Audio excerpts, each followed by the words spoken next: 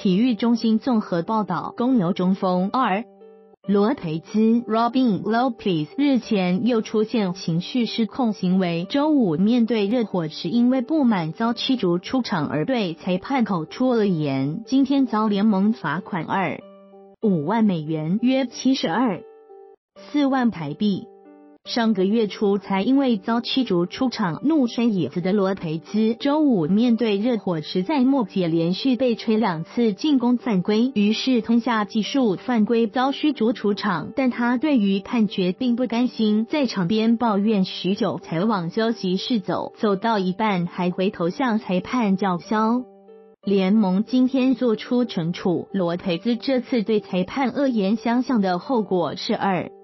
五万美元的罚款，这并不是罗培斯第一次不满吹判而暴怒。上个月初也因为不服吹判而遭到驱逐出场。他在走回休息室途中，甚至怒摔旁边的折叠椅泄愤。